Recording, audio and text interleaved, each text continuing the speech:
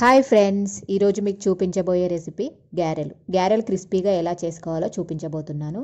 ఒక కేజీకి కొంచెం ఎక్కువగా ఉంది ఈ బియ్యం పిండి. దీంట్లో నేను జీలకర్ర నువ్వులు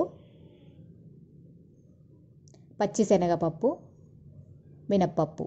ఈ పప్పులను ఒక గంట ముందు నానబెట్టుకుంటే సరిపోతుంది.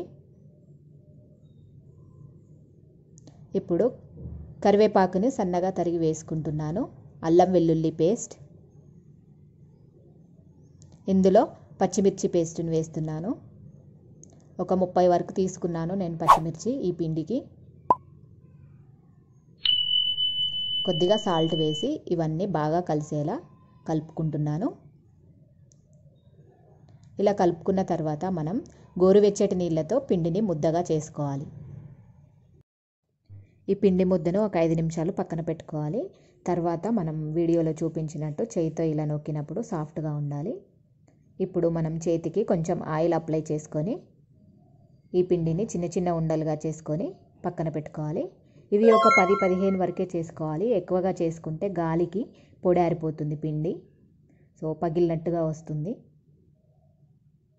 ఒక పది పదిహేను వరకు చేసుకున్న తర్వాత పూరి ప్రెషర్ తీసుకొని ఒక పాలిథిన్ కవర్ వేసి ఆయిల్ అప్లై చేసి వీడియోలో చూపిస్తున్నట్టు ప్రెస్ చేసుకోవాలి పిండి ముద్దల్ని. ఈ ప్రెస్సింగ్ చేసేటప్పుడు మనం ఎంత పల్చగా చేసుకుంటే అంత బాగా వస్తాయి. ఒక్కొక్కసారి ఒక సైడు లావుగా ఒక సైడ్ పల్చగా చేసుకుంటే కాలేటప్పుడు మెత్తగా వస్తాయి. ఇది ఒకటి మిస్టేక్ చేయొద్దు మనము. సో ఈలోపు ఆయిల్ హీట్ అయి ఉంటుంది. డీప్ ఫ్రైకి సరిపడా ఆయిల్ వేసి నేను వేడి చేసుకున్నాను. ఇప్పుడు స్టవ్ని మీడియం ఫ్లేమ్కి మార్చుకొని మనం ముందుగా ఒత్తి పెట్టుకున్న ఈ గారెల్ని నూనెలో వేసి డీప్ ఫ్రై చేయడమే.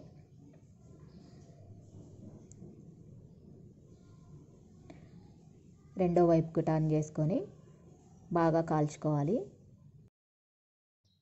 ఇప్పుడు వీటిని ప్లేట్లోకి తీసుకుందాము.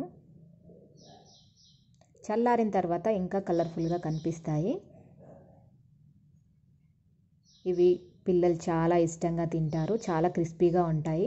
తిన్నా కొద్దీ తినాలనిపిస్తుంది. ఇందులో కూడా చాలా వెరైటీస్ ఉన్నాయి. సో వీడియోలో చూడండి. ఇలా నేను తుంచుతున్నాను. సౌండ్ కూడా మీకు వినిపిస్తుంది. సో అంత క్రిస్పీగా వస్తాయన్నమాట. ఈ వీడియో మీకు నచ్చినట్లయితే please subscribe my channel. Thank you for watching